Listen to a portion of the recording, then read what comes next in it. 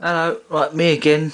Um, long time since I've uh, added a video, so this is the beginning of cell number 5. The reason it's taken me so long is because I've been waiting for all this stuff to arrive.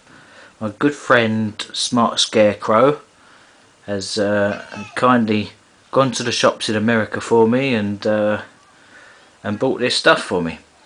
So I've got some Marine Goop, some uh, bronze wool, PVC cement, and this all this stuff over here you cannot find in the UK at all. This is 4 inch PVC pipe, I think they're in uh, 2 foot lengths, so he's got me two of those. We've got some end caps, I suppose they're called.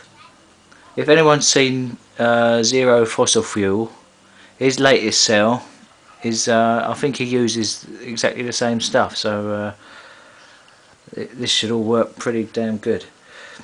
Uh, yeah so I've got some end caps screw on end caps at the end there and uh, three spare ones in case I blow up.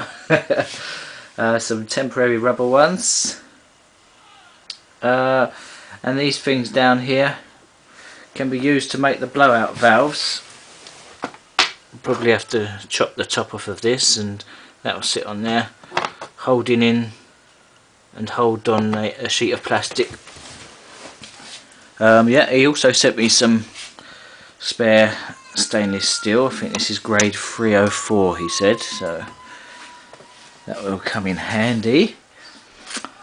Uh, I ordered from a supplier in the UK I've, I ordered this uh, this acrylic tube which I'll I want to use as the bubbler and I'm going to try it. I'm going to see if I can fit it by um,